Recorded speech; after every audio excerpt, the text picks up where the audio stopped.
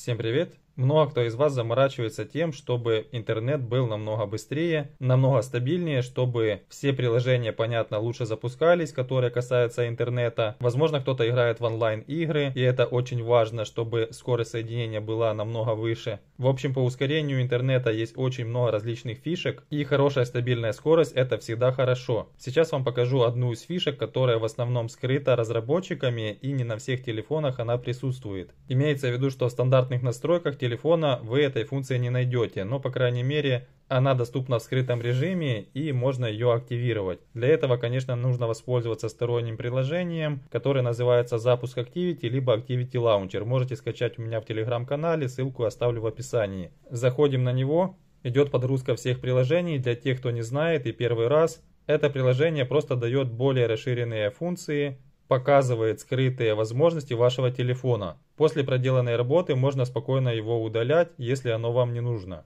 Подрузили все приложения. Здесь просто воспользуемся поиском, ничего не нажимаем. Вот поиск. И пишем слово Smart. И вам находит вот Smart ускорение. Заходите на эту функцию скрытую.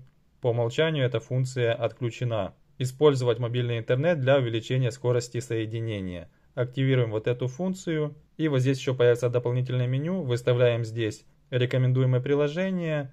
И режим ускорения по умолчанию, видите, стоит полное. Если у вас вспомогательное, то поставьте на полное. Это поможет повысить скорость интернета и увеличить скорость соединения. Подписывайтесь на канал, пишите комментарии, ставьте лайки.